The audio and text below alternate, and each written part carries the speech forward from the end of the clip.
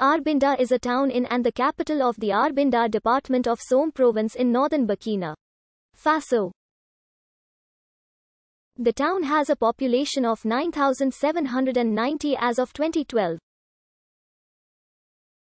On the 24th of December 2019, a group of militants attacked civilians and a military base in Arbinda in one of Burkina Faso's deadliest attacks. At least 122 people were killed, including 35 civilians, 7 soldiers, and 80 attackers. This Soum Province location article is a stub.